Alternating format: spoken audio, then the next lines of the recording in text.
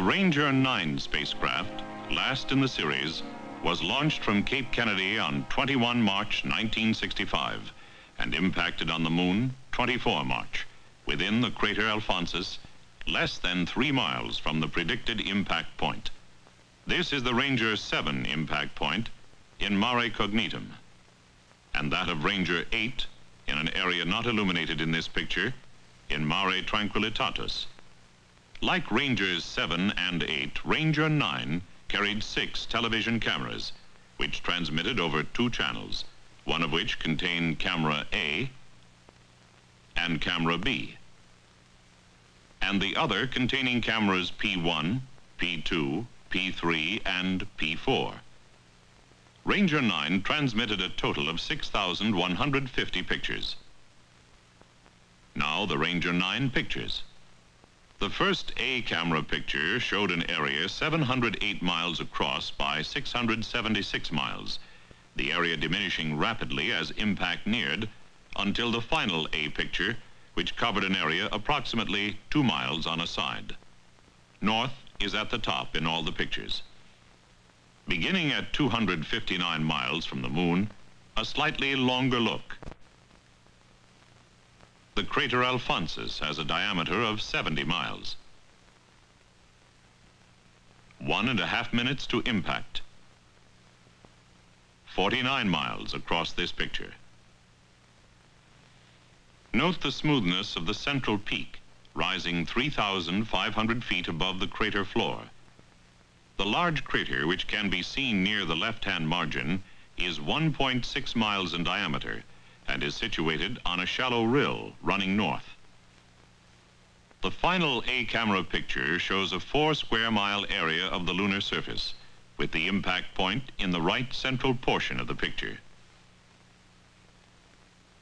The initial B camera photo covered an area 277 miles across by 230 miles. The impact point, visible in the early pictures, is out of the field of view toward the end.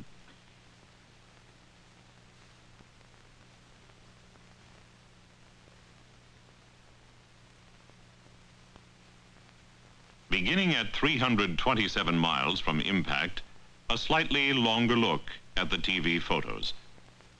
Note the smoothness of the highland areas as compared with the crater floor and the similarity to the central peak of Alphonsus.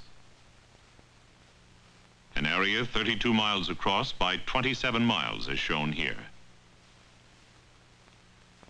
The last pictures in the B series show clearly the prominent rills broken by dark halo-type craters. The impact area is not visible here. At the right of the picture is the east edge of Alphonsus.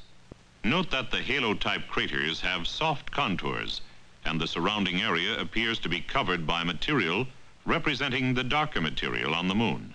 As the spacecraft moved closer in, several shallow depressions with numerous dimple craters and fine structure in the shadowed area became visible. The smallest craters discernible are approximately 30 feet in diameter. This partial picture is the final B camera view, covering an area 545 feet by 76 and a half feet. The wide band on the right is receiver noise. The P1 and P2 cameras were equipped with 3-inch lenses, P3 and P4 with 1-inch lenses. The P channel's cameras provided overlapping among themselves and all four P cameras photographed areas included within the coverage of the A and B cameras. Each of the four cameras sent a total of 1,340 high-quality pictures to the receiving station at Goldstone, California. Total spacecraft travel time on its picture-taking journey to the moon, 64 hours, 31 minutes, 12 seconds. Distance traveled, 259,143 miles. The spacecraft at impact was traveling at a velocity of just under 6,000 miles an hour.